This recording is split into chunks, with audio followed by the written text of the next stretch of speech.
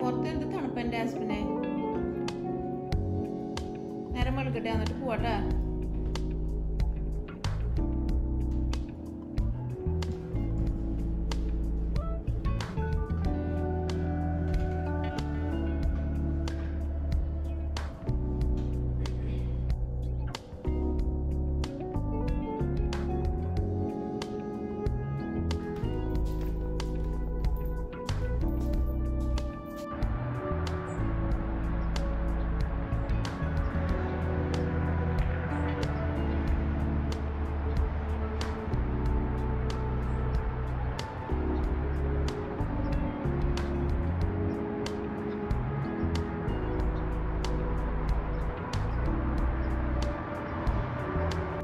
കഴിയുമ്പോൾ പുറത്ത് പോകട്ടെ. ഭയങ്കര തണുപ്പാണ്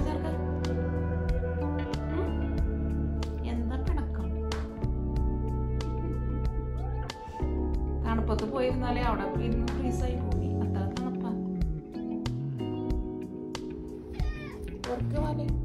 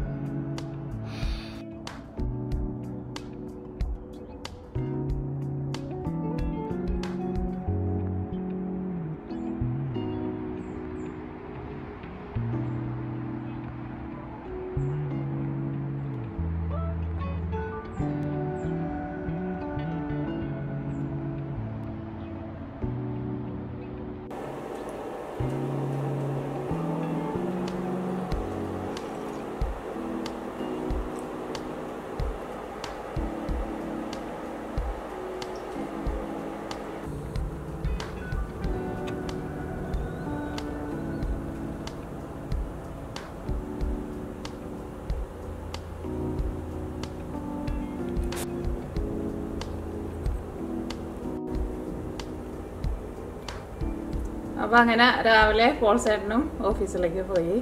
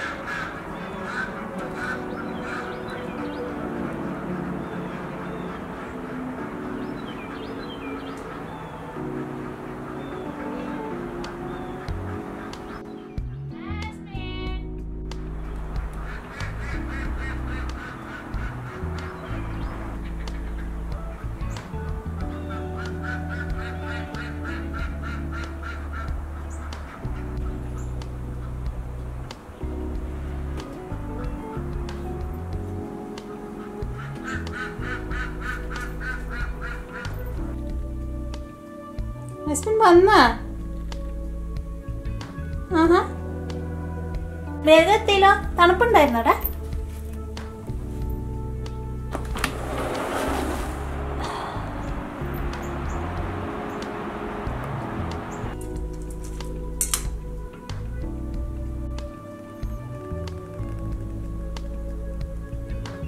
വാ അങ്ങോട്ട്. വാ. ഞാൻ ലോണ്ടറി ഇടാൻ പോവാ. മുടി കൂട്ടാൻ കൊച്ചിന്റെ വല്ല തീരുമാനം ഉണ്ടാ കൊച്ചിന്റെ ഉടുപ്പോ ഷൂവോ? ഇപ്പൊ തന്നെയല്ലേ പുറത്തുനിന്ന് കയറി വന്ന്? ഇനി പോകാൻ പറ്റില്ല.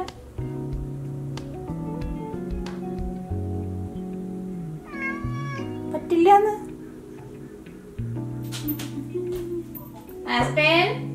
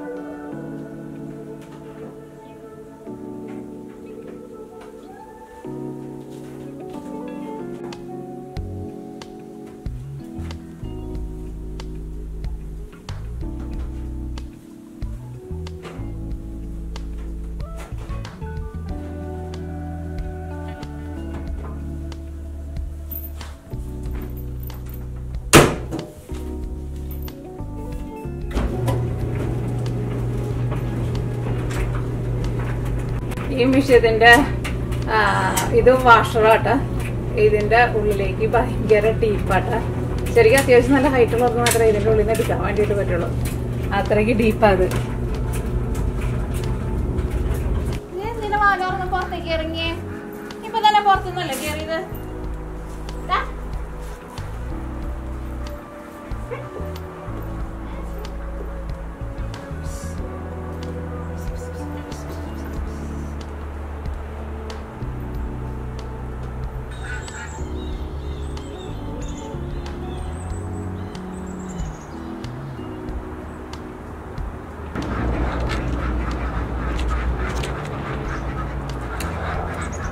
بابا بابا بابا بابا بابا بابا روتو توريا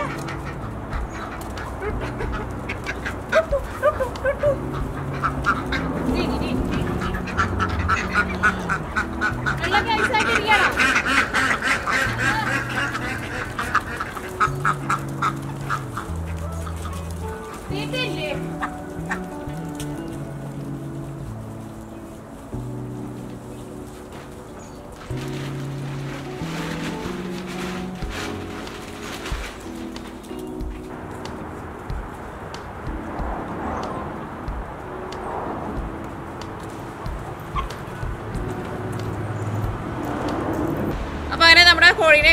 കഴിച്ചിട്ടിട്ട് നമുക്ക് മുട്ട കിട്ടിയിട്ടുണ്ട്. താറാവ് ഇപ്പം മുട്ട ഇപ്പോൾ ഇപ്പൊ തണുപ്പ് തുടങ്ങിയ പിന്നെ കോഴികൾ മുട്ട ഇടുന്നില്ല എനിക്ക് തോന്നുന്നു രണ്ടാഴ്ച കഴിയുമ്പോഴേക്കും നമ്മുടെ കോഴികളൊക്കെ മുട്ടയിട്ട് തുടങ്ങും തോന്നണം. പക്ഷേ താറാവുകൾക്ക് എനിക്ക് തോന്നുന്നു തണുപ്പ് അത്രയ്ക്ക് കുഴപ്പമില്ലാന്ന് തോന്നണം. അപ്പോൾ ഇന്ന് എനിക്ക് നാല് മുട്ടയിട്ടാണ് മുട്ടയിട്ടാ കിട്ടിയേക്കുന്നത്. മിക്ക ദിവസം അഞ്ച് താറാവും മുട്ടയിടാറുണ്ട് അതിനകത്ത് ഒരു താറാവ് ഇന്നലെ രാത്രി കൂട്ടി കയറാൻ പോണേന് മുമ്പ് അവർ ഇവിടെ ഈ സിമെന്റ് ഇട്ടോടത്ത് വന്നിട്ട് ഇരിക്കും. പിന്നെ ഞാൻ അവരെന്നെ വന്നിട്ട് കൂട്ടിൽ കയറ്റുമ്പോൾ അവർ കയറുള്ളൂ. അപ്പൊ ഇന്നലെ ഭയങ്കര തണുപ്പും ഭയങ്കര ഫ്രീസിംഗ് ആയിരുന്നു കേട്ടോ അപ്പൊ ഞാൻ ഈ താറാവിനെ വൈകിട്ട് രാത്രി കൂട്ടി കയറ്റാൻ വേണ്ടി വന്നു കഴിഞ്ഞപ്പോൾ ഇവർ ഇരിക്കണോടത്ത് ഒരു മുട്ട എടുക്കണം. എന്നിട്ട് ഞാൻ ആ മുട്ട എടുത്ത് നോക്കി കഴിഞ്ഞപ്പോൾ എന്താ? ആ തണുപ്പിന്റെ ആ ശക്തി കൊണ്ട് ആ മുട്ടയെ അങ്ങോട്ട് ചുരുങ്ങിയിട്ട് ഞാൻ ആ മുട്ട അകത്തുകൊണ്ട് വെച്ചിട്ടുണ്ടല്ലോ നിങ്ങളെ ഞാൻ അത് തുറന്ന് കാണിച്ചു തരാം കേട്ടോ. അത് ശരിക്കും നേരം വെളുക്കുമ്പോൾ ഇടുന്ന മുട്ടയായിരുന്നു. അപ്പോൾ തണുപ്പത്ത് ഇരുന്നിട്ടാന്ന് തോന്നണു ഒരു ഈ മുട്ടയൊക്കെ ഭയങ്കര ഫ്രീസായി പോയി. ശരിക്കും ആ സമയത്ത് അവരങ്ങനെ മുട്ടയിടാറില്ല. നേരം വെളുക്കുമ്പോൾ മുട്ടയിടാറ്. അല്ലെങ്കിൽ അപ്പോൾ വൈകിട്ട് ഒരു ഇന്നലെ ഒരു ആറര ഇപ്പോൾ ഞാൻ കയറ്റാൻ വേണ്ടിയിട്ട് വന്നിട്ടുണ്ടായിരുന്നു. കാരണം ഇവിടെ ഇപ്പോൾ തണുപ്പ് തുടങ്ങിയാൽ പിന്നെ നാലരയൊക്കെ ആകുമ്പോഴേക്ക് ഇരുട്ടാവുമല്ലോ സത്യം പറഞ്ഞാൽ എന്റെ കൈയൊക്കെ മരയിക്കുന്നു മുട്ടയ്ക്ക് ആയിരുന്നാലും ഭയങ്കര തണുപ്പാണ് ഇന്ന് ഭയങ്കര ഫ്രീസിങ് ആട്ടോ. മുട്ട കയ്യിൽ പിടിക്കാൻ വേണ്ടിയിട്ട് വയ്യ. എനിക്ക് കോഴിക്കൊക്കെ വെള്ളം ഇപ്പോൾ കോഴിക്കും താറാവിനൊക്കെ വെള്ളം വെച്ച് കൊടുക്കണം. ഇനിയിപ്പോൾ കുറച്ച് കഴിഞ്ഞാൽ മാത്രമേ നമ്മുടെ ഈ പൈപ്പിന്റെ ഉള്ളിൽ ഈ ഓസിന്റെ ഉള്ളിൽ കൂടെ വെള്ളം വരുള്ളൂ. കാരണം ഇപ്പോൾ വെള്ളമൊക്കെ ആകെ ഫ്രീസ് ആയിട്ടിരിക്കുക അപ്പം ഞാൻ ആദ്യം നേരത്തെ കൊണ്ടുവന്നിട്ട് അവർക്ക് ഞാൻ കുറച്ച് ചൂടുള്ള ഞാൻ അവിടെ ഒഴിച്ച് കൊടുത്തിട്ടുണ്ട്. പിന്നെ താറാവിന് കുളിക്കാൻ വേണ്ടിയിട്ട് നമ്മൾ എല്ലാ ദിവസവും അവിടെ വെള്ളം നിറച്ച് കൊടുക്കുമല്ലോ. പക്ഷേ രണ്ട് ദിവസമായിട്ട് ഞാൻ അതിനകത്ത് വെള്ളം നിറച്ചിട്ടില്ല. കാരണം രണ്ട് ദിവസമായിട്ട് എനിക്ക് ഈ ടാപ്പ് തുറക്കാൻ വേണ്ടിയിട്ട് പറ്റുന്നുണ്ടായിരുന്നില്ല. ഇതിന്റെ ഉള്ളിൽ കൂടെ വെള്ളം വരുന്നുണ്ടായിരുന്നില്ല. നമ്മൾ കുടിക്കാനുള്ള ചൂടുള്ള മാത്രമേ നമ്മൾ കൊണ്ടുവന്ന് കൊടുത്തത് ഇന്ന് കുറച്ചും കൂടി കഴിഞ്ഞ് കഴിയുമ്പോൾ ഒന്ന് ടെമ്പറേച്ചർ കുറച്ചും കൂടി ചെറുതായിട്ട് ഒന്ന് ചൂടായിട്ട് വരുന്നുണ്ട്. അപ്പോൾ ഇവിടെ ഈ കിടക്കണ നമ്മൾ വെള്ളം എടുക്കണ ഓസ് ഉണ്ടല്ലോ. അതിന്റെ ഉള്ളിൽ അതിന്റെ ഉള്ളിൽ വെള്ളം കിടക്കുമല്ലോ ഓൾറെഡി അപ്പോൾ അതിങ്ങനെ വെള്ളം ഭയങ്കര തണുപ്പ് വരുമ്പോൾ അതിങ്ങനെ ഫ്രീസ് ആയിട്ടിരിക്കും അപ്പോൾ നമ്മൾ തുറന്നിട്ടുണ്ടെങ്കിൽ അതിന്റെ ഉള്ളിൽ കൂടെ വെള്ളം വരത്തില്ല. ഇപ്പോൾ കുറച്ചും കൂടി കഴിഞ്ഞ് കഴിയുമ്പോൾ നമ്മൾ ആ ടാപ്പൊക്കെ നമ്മൾ അടയ്ക്കും. അല്ലെങ്കിൽ ഇതിന്റെ ഉള്ളിൽ വെള്ളം ഐസായിട്ട് ഇരുന്നിട്ട് നമ്മുടെ ഈ ഓസ് ഉണ്ടല്ലോ അത് പൊട്ടും. അപ്പോൾ നമ്മളിപ്പോൾ താറാവുള്ള തന്നെ നമ്മളിപ്പോൾ ഇത് അടയ്ക്കാത്തത്. അല്ലെങ്കിൽ ഇപ്പോൾ കോഴികൾ മാത്രമേ ഉള്ളതെന്ന് വെച്ചിട്ടുണ്ടെങ്കിൽ നമ്മൾ എല്ലാ വർഷവും നേരത്തെ നമ്മൾ ടാപ്പ് നമ്മൾ അടയ്ക്കാറുണ്ട് ഓക്കെ അപ്പോൾ ഞാൻ അകത്തേക്ക് പോട്ടെ. നമ്മുടെ ആസ്മിൻ കുട്ടനും പുറത്തേക്ക് ഇറങ്ങിയിട്ടുണ്ട്. നല്ല തണുപ്പ്. എന്റെ കൈ മറിയിച്ചു.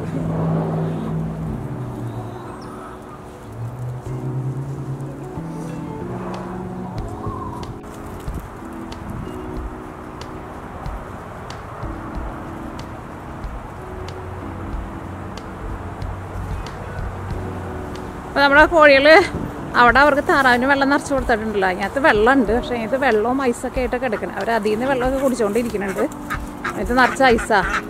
രണ്ട് ദിവസമായാലും നമ്മൾ അതിൽ നിന്ന് വെള്ളം മാറ്റിയിട്ട് അതുകൊണ്ട് തന്നെ വെള്ളമൊക്കെ ആകെ അഴുക്കായിട്ടിരിക്കുകയാണ്. എന്തായിരുന്നാലും നമ്മളിപ്പോൾ അത് ഇതിനകത്ത് നിറയ്ക്കാൻ വേണ്ടിയിട്ട് പറ്റില്ല. കുറച്ച് കഴിഞ്ഞ് കഴിഞ്ഞിട്ട് ഇത് ഈ ഓസനം കൂടെ ഞാൻ എടുത്തിട്ടുണ്ട്. ഇതിനകത്ത് ഇനിയിപ്പോൾ വെള്ളം വരില്ല. കുറച്ച് കഴിഞ്ഞിട്ടുണ്ടെങ്കിൽ വെള്ളം വരും.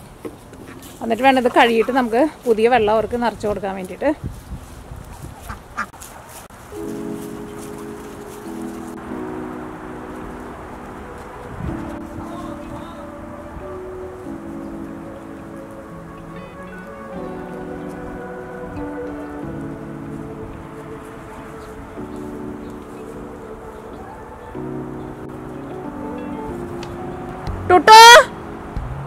അപ്പം ഞാൻ അയച്ചിട്ട വഴിക്കാൻ നമ്മുടെ ടുട്ടുവട അവിടെ മുകളിൽ അവിടെ പൊക്കത്ത് ഡോറിന്റെ അടുത്ത് പോയി നിൽക്കണുണ്ട് കേട്ടോ അവൾ രാവിലെ കൂടെ അയച്ചിട്ടിട്ടുണ്ടെങ്കിൽ അങ്ങോട്ടേക്ക് ഓടി ചെല്ലും ഞാനവിടെ നിൽക്കണത് കണ്ടില്ല എന്ന് തോന്നുന്നു ആൾ.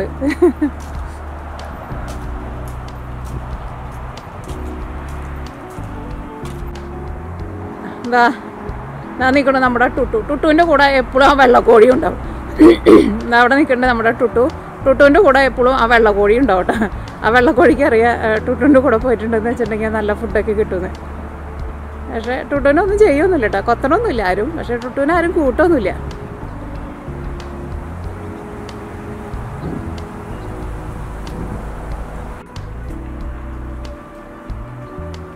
കൊച്ചുകൊണ്ട് പോരെ. അവൾ പോക്കട്ടെ.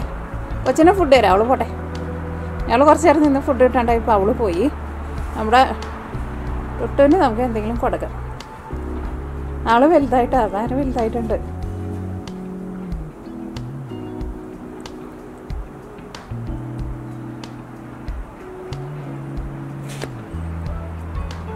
വാ.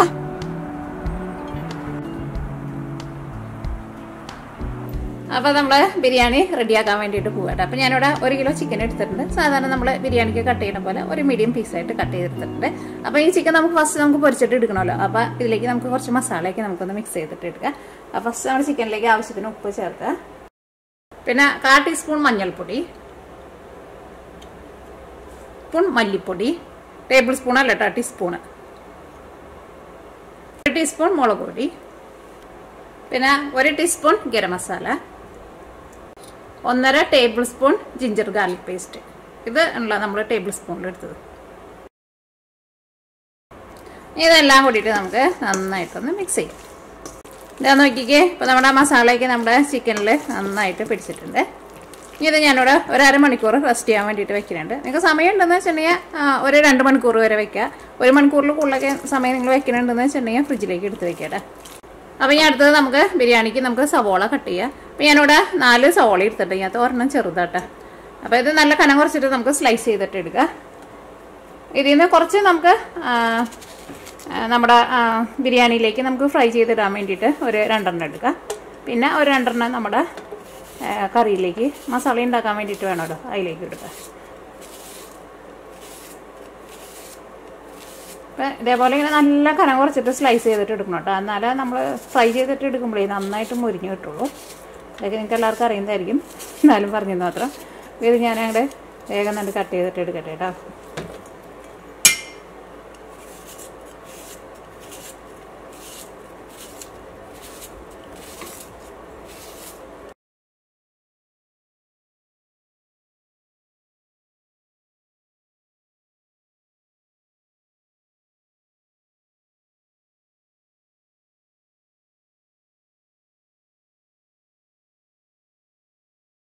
അപ്പോൾ ഞാൻ അടുത്തത് നമുക്ക് ഇഞ്ചിയും വെളുത്തുള്ളിയും പച്ചമുളകൊക്കെ പറഞ്ഞു. ഞാൻ കുറച്ച് കറിവേപ്പില ഇട്ടിട്ടുണ്ട്. പിന്നെ അത് ചതച്ചെടുക്കാൻ വേണ്ടിയിട്ട് ഞാൻ എന്താ ഒരു അഞ്ച് പച്ചമുളക് എടുത്തിട്ടുണ്ട്. ഞാനത് വലുതും ചെറുതാക്കി ഇട്ടിട്ടാ. പച്ചമുളക് ഒക്കെ നിങ്ങൾ എടുക്കുമ്പോൾ ചില പച്ചമുളകിന് നല്ല എരിവ് ഉണ്ടാവും അപ്പോൾ അതനുസരിച്ചിട്ട് എടുക്കണം കേട്ടോ. പിന്നെ ഇതേപോലത്തെ ഒരു കഷ്ണം ഇഞ്ചി എടുത്തിട്ടുണ്ട്. പിന്നെ ഞാൻ ഒരു കൂട് വെളുത്തുള്ളിയാണ് എടുത്തത്. ഇതിനകത്ത് ഇപ്പോൾ ഒരു പത്ത് വെളുത്തുള്ളി ഉണ്ട് അപ്പോൾ ഇതെല്ലാം കൂടിയിട്ട് നമുക്ക് ചതച്ചിട്ടെടുക്കാം.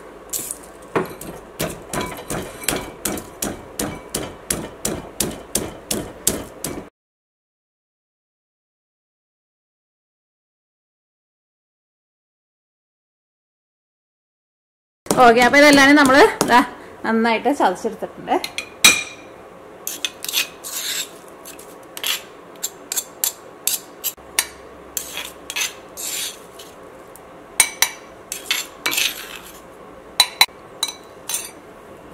അപ്പോൾ ഞാൻ അടുത്തത് നമുക്ക് ഇഞ്ചിയും വെളുത്തുള്ളിയും പച്ചമുളകൊക്കെ ചതച്ചെടുക്കണമെന്നുണ്ട്. ഞാൻ കുറച്ച് കറിവേപ്പില ഇട്ടിട്ടുണ്ട്.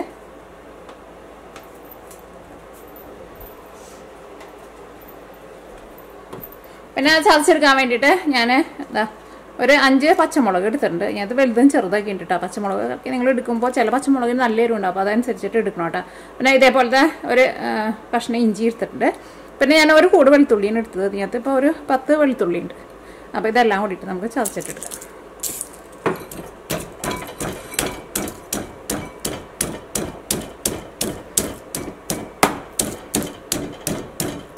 ഇതേ കഴിഞ്ഞ ദിവസം നമ്മൾ ഒരു ലഞ്ച് ബ്ലോഗിന്റെ ഒരു വീഡിയോ ചെയ്തിട്ടുണ്ടായിരുന്നില്ല. തേങ്ങയൊന്നും ഇല്ലാണ്ട് നാല് കൂട്ടം കറികൾ കൂട്ടിയിട്ട്. അതിനകത്ത് നമ്മൾ ചമ്മന്തി അരയ്ക്കാൻ വേണ്ടിയിട്ട് ഈ കല്ല് ഇന്നലെ നമ്മൾ എടുത്തിട്ടുണ്ടായിരുന്നു. അതുകൊണ്ട് ഞാനിത് കഴുകി എടുത്ത് വെച്ചിട്ടുണ്ട്. ചതച്ച ചതച്ചിട്ടൊക്കെ എടുക്കാൻ വേണ്ടിയിട്ട് നല്ലതാണ് ഇനി വെളുത്തുള്ളി ചേർക്കട്ടെ ട്ടോ. അല്ലെങ്കിൽ മിക്സിയിൽ ചെറിയ ചാറിലിട്ടിട്ട് ജസ്റ്റ് ഒന്ന് കറക്കിയിട്ട് എടുത്താലും മതി കേട്ടോ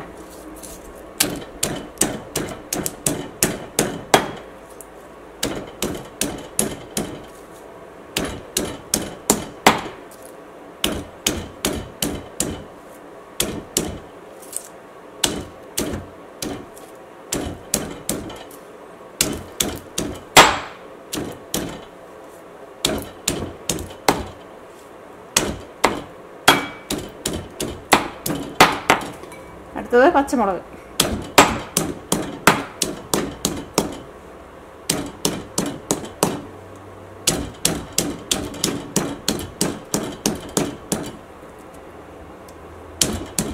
ഓക്കെ അപ്പോൾ ഞാൻ നാല് പച്ചമുളക് എടുക്കണുള്ളൂ കേട്ടോ കാരണം നമ്മൾ വേറെ ഇട്ടേ. എന്തായാലും ബിരിയാണി നമുക്ക് കുറച്ച് എരിവിൽ കഴിക്കാം. ഓക്കെ അപ്പോൾ ഇതെല്ലാം നമ്മൾ നന്നായിട്ട് ചതച്ചെടുത്തിട്ടുണ്ട്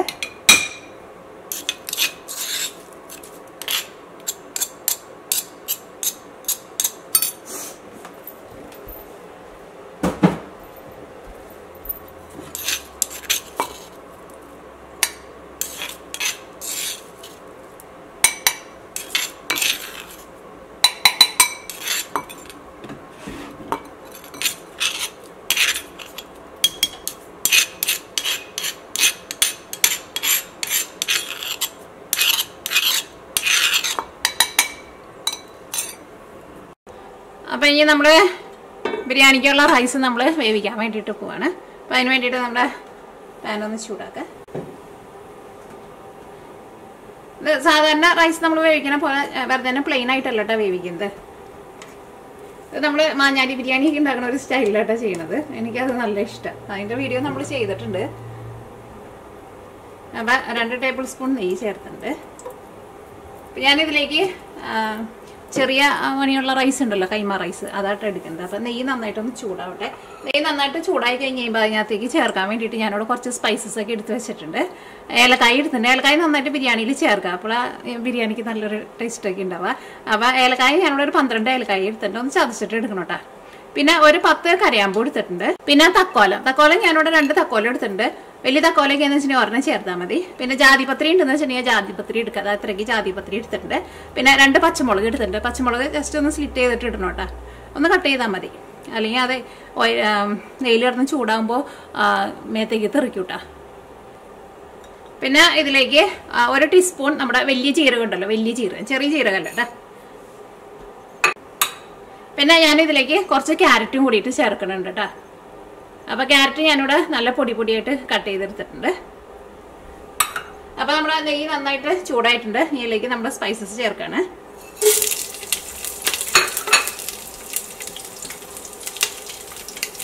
ഏലക്കായൊക്കെ ചതച്ചിട്ടില്ലാന്ന് വെച്ചിട്ടുണ്ടെങ്കിൽ മുളത്തെ പണി ഇട്ടുണ്ടെങ്കിൽ എല്ലാവരും തെറിക്കോട്ടെ മേത്തേക്ക്.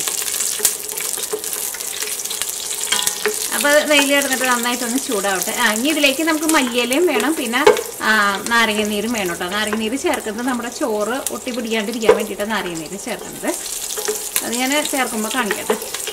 അപ്പോൾ ഈ സ്പൈസസ് ഞാൻ കിടന്നിട്ട് നന്നായിട്ടൊന്ന് ചൂടാവട്ടെ. അപ്പോൾ നമ്മുടെ സ്പൈസസ് ഞാൻ കിടന്നിട്ട് ചൂടായിട്ടുണ്ട്. അപ്പോൾ ഇനി ഇതിലേക്ക് നമ്മൾ ക്യാരറ്റ് ചേർക്കാണ്. ഇത് കുറച്ച് കൂടുതലുണ്ട് കേട്ടോ അതിന്റെ ഒരു മുക്കാ ഭാഗം ചേർക്കുന്നുള്ളൂ. അപ്പോൾ ഈ ക്യാരറ്റും അത് കിടന്നിട്ട് നന്നായിട്ടൊന്ന് മൊരിയട്ടെ. നിങ്ങൾക്ക് പൈനാപ്പിൾ വേണമെന്ന് വെച്ചിട്ടുണ്ടെങ്കിൽ ഒരു പൈനാപ്പിളും നല്ല കുറച്ച് പൊടി പൊടിയായിട്ട് കട്ട് ചെയ്തിട്ട് പൈനാപ്പിളും ചേർക്കാം കേട്ടോ. അത് നമ്മൾ മാഞ്ഞാലി ബിരിയാണിയിൽ നമ്മൾ പൈനാപ്പിളും ചേർത്തിട്ടുണ്ട്. പൈനാപ്പിൾ ചേർക്കുമ്പോൾ നല്ല മധുരമുള്ള പൈനാപ്പിൾ ചേർക്കണം കേട്ടോ. പുളിയുള്ളതാണെന്ന് വെച്ചിട്ടുണ്ടെങ്കിൽ ചേർക്കരുത്. അപ്പോൾ നമ്മുടെ ഈ ക്യാരറ്റ് ഇങ്ങനത്ത് കിടന്നിട്ട് നെയ്യിൽ കിടന്നിട്ട് ഒന്ന് ചെറുതായിട്ടൊന്ന് മുരിഞ്ഞ് വന്നിട്ട്. അപ്പോൾ ഞാനിവിടെ റൈസ് എടുത്തേക്കുന്നത് ചെറിയ തരിയുള്ള റൈസ് ഉണ്ടല്ലോ നമ്മുടെ കൈമ റൈസ് അതാണ് എടുത്തേക്കുന്നത്. അത് ഞാനിവിടെ ഇരുന്നൂറ്റമ്പത് എം എല്ലിന്റെ ഇത് നമ്മുടെ ഇരുന്നൂറ്റമ്പത് എം എല്ലിന്റെ മെഷീൻ ഇത് ഇതിനകത്ത് രണ്ട് കപ്പ് റൈസാണ് എടുത്തേക്കുന്നത്. അത് ഞാൻ നന്നായിട്ട് കഴുകിയിട്ട് അരമണിക്കൂർ ഞാൻ വെള്ളത്തിൽ കുതിരാൻ വേണ്ടിയിട്ട് വെച്ചിട്ടുണ്ട്. അപ്പോൾ റൈസ് വേവിക്കാൻ വേണ്ടിയിട്ട് വെള്ളം എടുക്കുമ്പോൾ ഒരു കപ്പ് റൈസിന് ഒന്നര കപ്പ് വെള്ളം എടുക്കുക നിങ്ങൾ കുതിർത്താണ്ട് ഇടുന്നതെന്ന് വെച്ചിട്ടുണ്ടെങ്കിൽ ഈ കൈമ റൈസിന് ഞാനിവിടെ സാധാരണ വാങ്ങണതിന് ഒരു കപ്പിന് ഒന്നര കപ്പ് വെള്ളം ഒഴിക്കുമ്പോൾ ചില റൈസ് അങ്ങനെ വെന്ത് കിട്ടാറില്ല. അപ്പോൾ ചിലപ്പോൾ ഒരു ഒന്നേ മുക്കാൽ കപ്പ് വെള്ളം ചേർക്കേണ്ടി വരും. പക്ഷെ നേരത്തെ കൂട്ടിയിട്ട് കുതിർത്തി വെച്ചാൽ മതി. കാരണം അത് കുതിർത്തുമ്പോൾ ആ റൈസ് കുറച്ച് വെള്ളം ഒന്ന് കുടിക്കുമല്ലോ. കാരണം പല റൈസിനും പല വേവ് ഉണ്ടാവും ചിലതിനൊക്കെ ചിലപ്പോൾ നല്ല വേവ് ഉണ്ടാവും ചിലത് ചിലപ്പോൾ ഒന്നര കപ്പിൽ വേവും. ചില റൈസ് ചിലപ്പോൾ ഒന്നര കപ്പിൽ വേവത്തില്ല. പിന്നെ നമ്മൾ റൈസ് ആയിരുന്നാലും നമ്മളിപ്പോൾ കുറച്ച് റൈസായിട്ട് നമ്മൾ വെക്കുമ്പോൾ ചിലപ്പോൾ ഈ ഒന്നര കപ്പിൽ വേവുണ്ടാവുന്നത് കൂടുതൽ റൈസ് വെക്കാന്ന് വെച്ചിട്ടുണ്ടെങ്കിൽ കൂടുതൽ ക്വാണ്ടിറ്റി ഉണ്ടല്ലോ. അപ്പോൾ ഒന്നര കപ്പ് വെള്ളം വെച്ചിട്ടുണ്ടെങ്കിൽ നമുക്ക് വെന്ത് കിട്ടും. ഇതിപ്പോൾ നമ്മൾ കുറച്ചല്ലേ വെക്കണുള്ളൂ രണ്ട് കപ്പൊക്കെ എടുക്കുമ്പോൾ ഇപ്പോൾ കുതിർത്താത്ത റൈസാന്ന് വെച്ചിട്ടുണ്ടെങ്കിൽ ഒന്നേ മുക്കാൽ കപ്പ് വെള്ളം വെച്ചിട്ട് ചേർത്തോട്ടോ ഒരു കപ്പിന് കുതിർത്തിയിട്ടുണ്ടെന്ന് വെച്ചിട്ടുണ്ടെങ്കിൽ ഒന്നര കപ്പ് ചേർത്താൽ മതി. അപ്പോൾ നമ്മുടെ ക്യാരറ്റ് ഒക്കെ ഇതിനകത്ത് കിടന്നിട്ട് ചെറുതായിട്ടൊന്ന് മുരിഞ്ഞു വന്നിട്ടുണ്ട്. ഇനി നമ്മൾ ഇതിലേക്ക് രണ്ട് കപ്പിന് മൂന്ന് കപ്പ് വെള്ളം ചേർക്കാം ട്ടാ.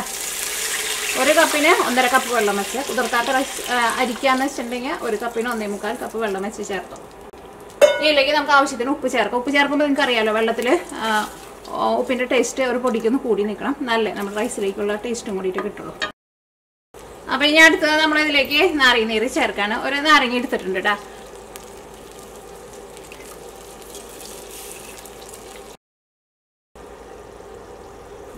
ഇനി അടുത്തത് ചേർക്കുന്നത് ഇതിലേക്ക് നമ്മൾ കുറച്ച് മല്ലിയിലയും കൂടിയിട്ട് ചേർക്കുന്നുണ്ട്. അപ്പൊ ഇനി ഇത് മൂടി വയ്ക്കുക കേട്ടോ. ഇനി വെള്ളം നന്നായിട്ട് തിളച്ച് കഴിഞ്ഞിട്ട് വേണം നമുക്ക് ഇതിലേക്ക് റൈസ് ചേർക്കാൻ വേണ്ടിയിട്ട്. അപ്പൊ നമ്മുടെ വെള്ളം നന്നായിട്ട് തിളച്ചിട്ടുണ്ട്. ഇനി ഞാൻ തീ നന്നായിട്ട് കുറച്ച് വെച്ചിട്ടാ. ഇനി നമ്മൾ ഇതിലേക്ക് കുതിർത്തി വെച്ചേക്കണ അരി ചേർക്കട്ടെ നല്ല മണ്ണുണ്ട് ഈ റൈസിന് ഇനി മൂടി വയ്ക്കാട്ടെ കേട്ടോ. റൈസ് ചേർത്ത് കഴിഞ്ഞ് കഴിയുമ്പോൾ ആ വെള്ളത്തിന്റെ ചൂടൊന്ന് പോയിട്ടുണ്ടല്ലോ. ഇനി മൂടി വെച്ച് കഴിഞ്ഞിട്ട് ഇപ്പോൾ തീ നന്നായിട്ട് കൂട്ടി വെച്ചേക്കണം. റൈസ് വെള്ളം നന്നായിട്ട് തിളച്ച് കഴിഞ്ഞ് കഴിയുമ്പോൾ എന്ത് ചെയ്യണമെന്ന് വെച്ചിട്ടുണ്ടെങ്കിൽ നിങ്ങളുടെ കയ്യിൽ ഏത് അടുപ്പാണ് ഏറ്റവും ചെറിയ അടുപ്പ് എന്ന് വെച്ചിട്ടുണ്ടെങ്കിൽ ആ അടുപ്പിലേക്ക് മാറ്റിയിട്ട് ഏറ്റവും തീ കുറച്ചിട്ട് തന്നെ വെക്കണം. അത് കഴിഞ്ഞിട്ട് ഒരു ഇരുപത് മിനിറ്റ് കഴിഞ്ഞിട്ട് തുറന്നു നോക്കിയാൽ മതി. ഇടയ്ക്കൊന്ന് തുറന്നു നോക്കാൻ വേണ്ടിയിട്ട് പോകണ്ട അപ്പോൾ അതിന്റെ ഉള്ളിൽ ആവിയൊക്കെ പുറത്തേക്ക് പോകും അപ്പോൾ നമ്മുടെ ഇത്രയ്ക്ക് വെള്ളത്തിൽ നമുക്ക് റൈസ് വെന്ത് കിട്ടില്ല. തിളക്കിട്ടെ. തിളച്ച് കഴിയുമ്പോൾ ഞാൻ ഈ അടുപ്പിൽ നിന്ന് മാറ്റും കേട്ടോ. വ- വെന്തോ വെന്തോ ഒന്നും തുറന്നു നോക്കാൻ വേണ്ടിയിട്ട് പോകണ്ട കാരണം നമ്മൾ വെള്ളം അത്രയ്ക്കല്ലേ ഒഴിച്ചിട്ടുള്ളൂ. അപ്പോൾ അതുകൊണ്ട് തന്നെ വെന്ത് കുഴഞ്ഞൊന്നും പോയില്ല അപ്പോൾ എന്റെ ഉള്ളത് ഇതാട്ടെ ഏറ്റവും ചെറിയ അടുപ്പ്. വേറെ ഒരു കുഞ്ഞിതുണ്ട്. അത് ഭയങ്കര കുഞ്ഞിതാണ് അപ്പോൾ ഞാൻ തീ നോക്കി വെച്ചേക്കണ നോക്കി ഭയങ്കര ചെറിയ ഫ്ലെയിമിലാണ് വെച്ചേക്കുന്നത് പിന്നെ മൂടി വയ്ക്കുമ്പോഴായിരുന്നാലും നല്ല കറക്റ്റ് മൂടി വെച്ചിട്ട് മൂടി വയ്ക്കണം കേട്ടോ ആവി അങ്ങനെ കുറച്ചെങ്ങനെ പുറത്തേക്ക് പോയിട്ടുണ്ടെന്ന് വെച്ചിട്ടുണ്ടെങ്കിൽ റൈസ് വെന്ത് കിട്ടില്ല. അപ്പോൾ ഇനി അടുത്തത് നമ്മൾ സവോളയും പിന്നെ കശുവണ്ടിയും അതൊക്കെ നമുക്കൊന്ന് വറുത്ത് വെക്കണമല്ലോ. അത് നമുക്ക് വറുത്ത് വെക്കുക. അത് കഴിഞ്ഞിട്ട് നമുക്ക് ചിക്കൻ വറുത്തിട്ട് എടുക്കാം. അപ്പോൾ ഞാനിവിടെ വെജിറ്റബിൾ ഓയിലാണ് ചെയ്യുന്നത്. അപ്പോൾ നമ്മുടെ ഓയിൽ അപ്പോൾ ഓയിൽ നന്നായിട്ട് ചൂടായിട്ടുണ്ട്. അപ്പോൾ നമ്മൾ കട്ട് ചെയ്ത് വെച്ചേക്കണ ആ, സവാള ഉണ്ടല്ലോ ഇതിൽ നിന്ന് നമുക്ക് കുറച്ച് സവാള മതിയല്ലോ നമുക്ക് വറുത്തിടാൻ വേണ്ടിയിട്ട്. ബാക്കിയുള്ളത് നമ്മുടെ കറിയിലേക്ക് വേണോട്ടെ. ഇങ്ങനെ ഇടുമ്പോഴേ ഒന്ന് ഇങ്ങനെ ഒന്ന് തിരിപ്പിച്ചിട്ട് ഇട്ടോട്ടെ. അപ്പോൾ ഇങ്ങനെ എല്ലാവരും ഇങ്ങനെ സെപ്പറേറ്റ് സെപ്പറേറ്റ് ആയിട്ട് വന്നോളാം. അപ്പോൾ നമുക്ക് പെട്ടെന്ന് നമുക്ക് മുരിഞ്ഞിട്ട് ചെയ്യുന്നത് നമ്മൾ ഇത്രയ്ക്ക് സവാള എടുത്തിട്ടുണ്ട്. ജസ്റ്റ് എന്റെ കയ്യിൽ ഒരു രണ്ട് പിടി നോക്കിയിട്ട്. ഓക്കെ അപ്പം നമുക്ക് കറിയിലേക്ക് നമുക്ക് ബാക്കി ഇത്രയ്ക്കുണ്ട് കേട്ടോ. ആ സവോള മുരിഞ്ഞ് നല്ല ഗോൾഡൻ കളറായിട്ടുണ്ട് അപ്പം ഇനി ഇത് നമുക്ക് ഓരോന്നെടുത്ത് മാറ്റാം.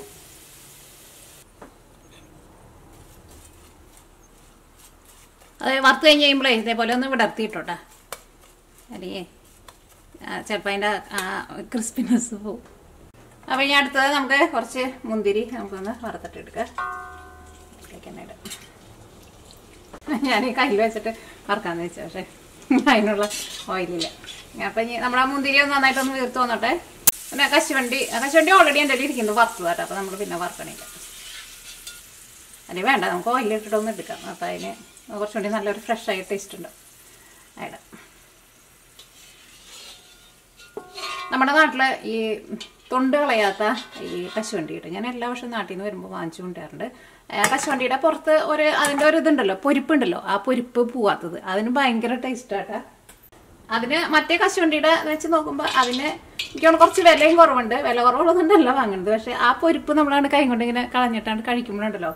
നല്ല രുചിയാണ് എനിക്ക് ഭയങ്കര ഇഷ്ടമാണ് അത് നമ്മൾ കടയിൽ നിന്ന് വാങ്ങിച്ചിട്ട് വെറുതെ നമ്മൾ ഒരു പാനിലിട്ടിട്ട് ഓയിലൊന്നും ഒഴിക്കേണ്ട. വെറുതെ അങ്ങോട്ട് ചൂടാക്കിയിട്ടുണ്ടെങ്കിലുണ്ടല്ലോ.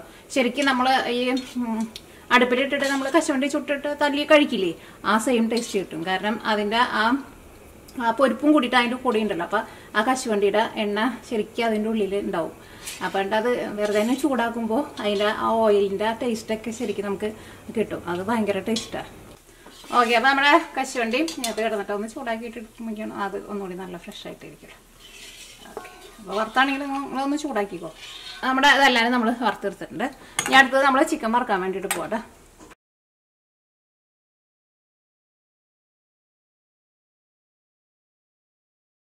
അപ്പം ഇനി ഇതിലേക്ക് നമ്മൾ കുറച്ച് കറിവേപ്പിലയും കൂടി ഇട്ടിട്ട് ഞാൻ മൂടി വയ്ക്കട്ടെ ഭയങ്കരമായിട്ട് ഇത് കുറച്ച് വയ്ക്കേണ്ട അത്യാവശ്യം നല്ല ചൂട് വേണം. ആ ഓയിൽ കരിഞ്ഞു പോകാത്ത ചൂടിൽ വെക്കാം. അപ്പോൾ നമ്മുടെ റൈസ് വേവിക്കാൻ വേണ്ടിയിട്ട് വെച്ചിട്ട് അവിടെ തന്നെ ഇരിക്കണം കേട്ടോ ഞാൻ തുറന്നു നോക്കിയിട്ടൊന്നുമില്ല. നമ്മുടെ ചിക്കൻ വറുത്തെടുത്ത് കഴിഞ്ഞ് കഴിഞ്ഞിട്ട് നമുക്ക് തുറന്നു നോക്കാം. അപ്പോൾ ഇതിപ്പോൾ ഞാനിവിടെ ഒരു പത്ത് മിനിറ്റ് മുടി വെച്ചിട്ടുണ്ടായിരുന്നു. നമുക്കൊന്ന് തിരിച്ചിടാം. ആഹാ നല്ല മണം വരുന്നുണ്ട്. നമ്മൾ ആ ജിഞ്ചർ ഗാർലിക് പേസ്റ്റ് ഒക്കെ ചേർത്തിട്ടുണ്ടായിരുന്നല്ലോ. അങ്ങനെ മുടി വയ്ക്കുമ്പോൾ നമുക്ക് ചിക്കൻ വെന്ത് കിട്ടുകയും ചെയ്യും. ചിക്കൻ നമ്മുടെ ആ പാകത്തിനുള്ള മുരിച്ചിൽ നമുക്ക് കിട്ടുകയും ചെയ്യും. തുറന്നു വെച്ചിട്ട് വറുത്തിട്ട് എടുക്കാം. പക്ഷേ ആ ഓയിലേ അവിടെ കരിഞ്ഞു. നമുക്ക് കരിഞ്ഞ ഓയിൽ വേണ്ട. അപ്പം ഈ നമ്മുടെ റൈസ് എന്തായി നോക്കാം? ആ മൂടി വെച്ചേക്കായിരുന്നല്ലോ നല്ല ആവി വരുന്നുണ്ട്.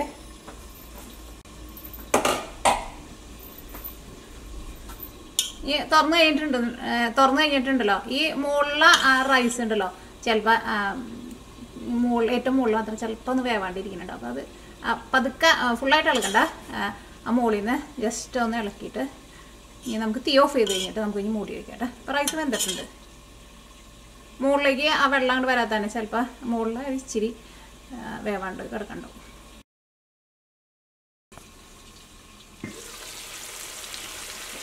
അത് അപ്പോൾ നമ്മുടെ ചിക്കൻ വെന്തിട്ടുണ്ട്. ചിക്കൻ ഒരു അത്യാവശ്യം നന്നായിട്ട് മുരിഞ്ഞിട്ടുണ്ട്. ഇനി അപ്പോൾ നമ്മൾ ചിക്കൻ എടുത്ത് മാറ്റാം കേട്ടോ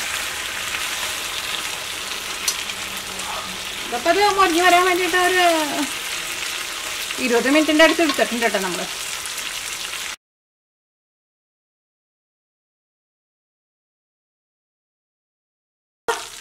ഓയിൽ കൂടുതലുണ്ടെന്ന് വെച്ചിട്ടുണ്ടെങ്കിൽ മാറ്റാം കേട്ടോ അപ്പോൾ ഇതിൽ നമുക്ക് കുറച്ച് ഓയിൽ മാറ്റാം.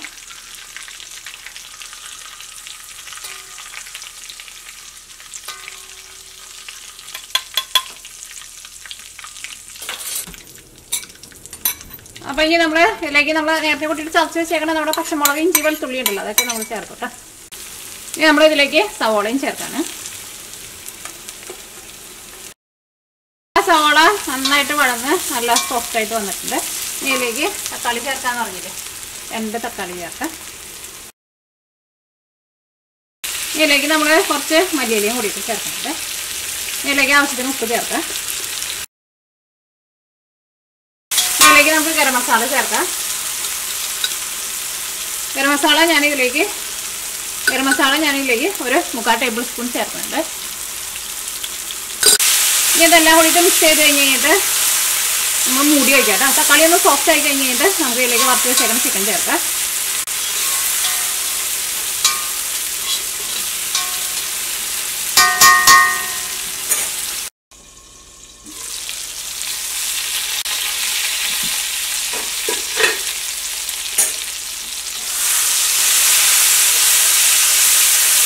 തക്കാളി ഒന്ന് നന്നായിട്ടൊന്ന് ഉടച്ചു കൊടുക്കാം. ഇതിലേക്ക് നമ്മൾ വറുത്ത് വെച്ചേക്കണ ചിക്കൻ ചേർക്കാം കേട്ടോ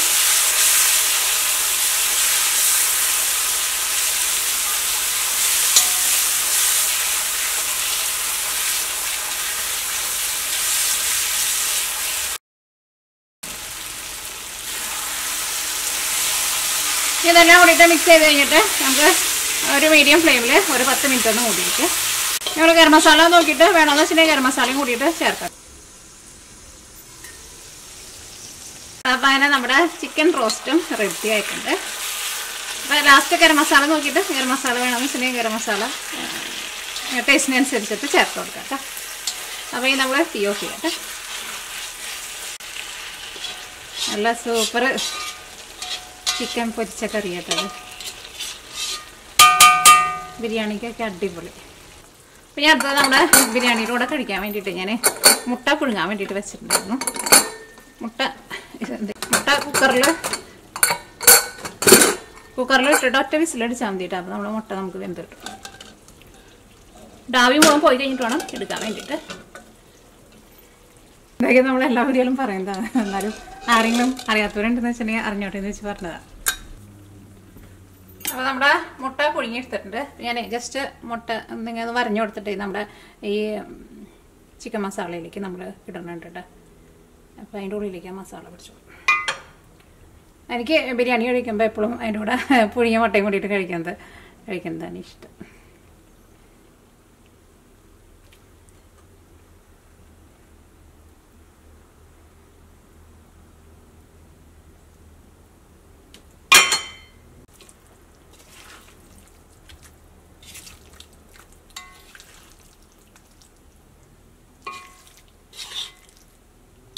അപ്പോൾ നമ്മൾ ആ ചിക്കൻ വറുത്തിരുന്ന ഓയിൽ നമ്മൾ കുറച്ച് മാറ്റി വെച്ചിട്ടുണ്ടായിരുന്നില്ല. അത് നമുക്ക് ഈ ചോറ് നമ്മൾ ഇട്ട് കഴിഞ്ഞ് കഴിയുമ്പോൾ അതിന്റെ മുകളിലേക്ക് ജസ്റ്റ് ഒന്ന് ഒഴിച്ചു കൊടുക്കാൻ വേണ്ടിയിട്ട് കുറച്ച് ഓയിൽ എടുക്കാം കേട്ടോ അപ്പം ഇനി ദം ചെയ്യാൻ വേണ്ടിയിട്ട് ഞാനിവിടെ ഒരു ഉരുളിയാട്ടം എടുത്തേക്കുന്നത്. അപ്പം ഇനി നമുക്ക് റൈസ് ഇടാം.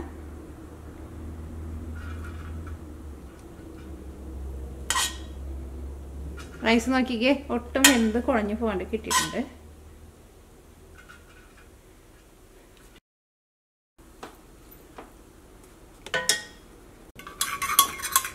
ഇനി ഇതിന്റെ മുകളിലേക്ക് നമ്മുടെ ചിക്കൻ വറുത്തിരുന്ന ഓയിൽ കുറച്ച് ഇങ്ങനെ ഒന്ന് ഒഴിച്ചു കൊടുക്കുക അപ്പോൾ നമ്മുടെ റൈസിനെ നല്ലൊരു ഫ്ലേവർ കിട്ടും. ഒരുപാട് ഒഴിക്കണ്ട.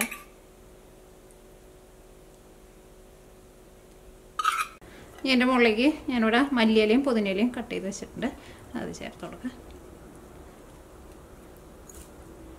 ഒരു ഇച്ചിരി ഗരം മസാല ഒരുപാട് ഇടുന്നുണ്ട് കേട്ടോ ഏ എല്ലാ ഒരു സ്ഥലത്ത് തന്നെ വന്നോളൂ. ഇനി ഇതിന്റെ മുകളിലേക്ക് നമ്മൾ ചിക്കന്റെ മസാല ഇടട്ടെ.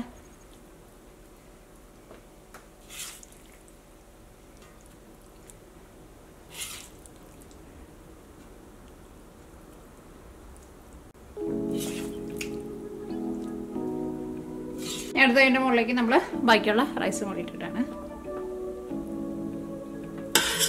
ചോറ് എടുക്കണ കയ്യിലുണ്ടല്ലോ.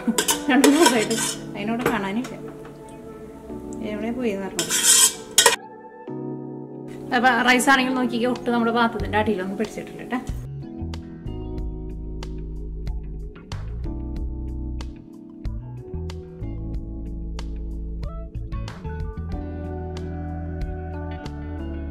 ഇനി അടുത്തത് നമുക്ക് അതിന്റെ മുകളിലേക്ക് നമ്മൾ വറുത്ത് വെച്ചേക്കുന്നുണ്ടല്ലോ ഗാർണിഷ് ചെയ്യാൻ വേണ്ടിയിട്ട് ഇതൊക്കെ.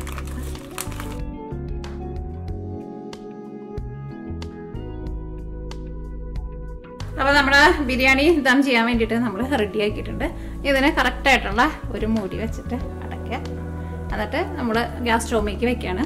ഏറ്റവും ചെറിയ അടുപ്പിൽ വെച്ചിട്ട് ഏറ്റവും ചെറിയ തീയിൽ വെക്കുക. എന്നിട്ട് നമ്മുടെ ഈ ദം വയ്ക്കാൻ വേണ്ടിയിട്ട് വെക്കുന്ന പാത്രം നന്നായിട്ട് ചൂടായിട്ട് വരണം. അപ്പോൾ അതിന്റെ ഉള്ളിൽ ബിരിയാണി വരുന്നാലും നന്നായിട്ട് ദമ്മായിട്ടുണ്ടാവും തീ എന്തോരം കുറച്ച് വെക്കണം അത്രയും കുറച്ച് വെക്കുന്നുണ്ട് അല്ലെങ്കിൽ എല്ലാം കരിഞ്ഞു പോകും. ഇതിപ്പോൾ ഉള്ളി ആയതുകൊണ്ട് തന്നെ ഇതിന് നല്ല കട്ടിയുണ്ട് അപ്പോൾ അതുകൊണ്ട് തന്നെ ഞാൻ ഡയറക്റ്റ് ഫ്ലെയിമിന്റെ മുകളിലേക്കാണ് വെക്കുന്നത്. തീ നന്നായിട്ട് കുറച്ചിട്ട് വയ്ക്കുക ഭയങ്കര കട്ടി കുറഞ്ഞ പാത്രത്തിലാണ് ബിരിയാണി ദം ചെയ്യാൻ വെക്കണേന്ന് വെച്ചിട്ടുണ്ടെങ്കിൽ അതിന്റെ അടിയിൽ വേറെ എന്തെങ്കിലും പാൻ വെച്ചിട്ട് ആ പാൻ നന്നായിട്ട് ചൂടായി കഴിഞ്ഞിട്ട് വേണം നമ്മുടെ ബിരിയാണി ദം ചെയ്യാനുള്ള പാത്രം വയ്ക്കാൻ വേണ്ടിയിട്ട് കേട്ടോ. അപ്പോൾ ഇതിന് അതിന്റെ ആവശ്യമില്ല. കാരണം നല്ല കട്ടിയുണ്ടല്ലോ അപ്പോൾ നമുക്കിത് ദം ചെയ്യാൻ വേണ്ടിയിട്ട് വെക്കാം.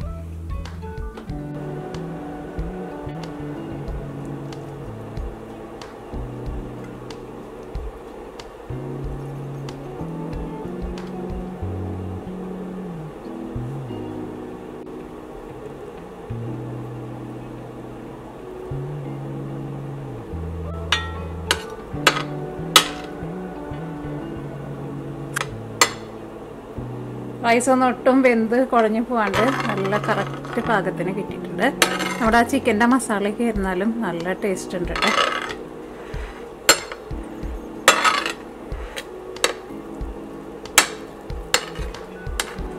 അപ്പം അങ്ങനെ നമ്മുടെ നല്ല ടേസ്റ്റി ആയിട്ടുള്ള നമ്മുടെ ദാം ചെയ്തെടുത്ത നമ്മുടെ ചിക്കൻ ബിരിയാണി റെഡി ആയിട്ടുണ്ട്. അപ്പം ഇതാട്ടാ ഞാൻ പറഞ്ഞ മുട്ട.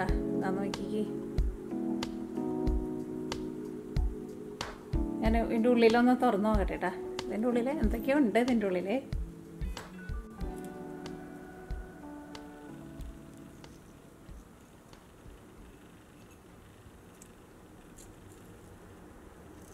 ഇതിന്റെ ഉള്ളിൽ മുട്ടയായിരുന്നാലും ഭയങ്കരമായിട്ട് ഐസ് പിടിച്ചിട്ടിരിക്കുക കേട്ടോ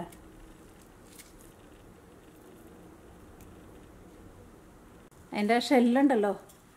ശരിക്കും ഒരു പേപ്പർ പോലെയാണ് അതിന്റെ ഷെല്ല്. കണ്ടേ?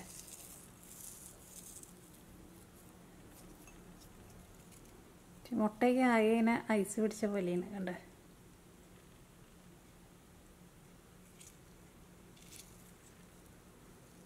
ഞാൻ ആദ്യമായിട്ടാണ് ഇങ്ങനത്തെ മുട്ട കാണുന്നത്.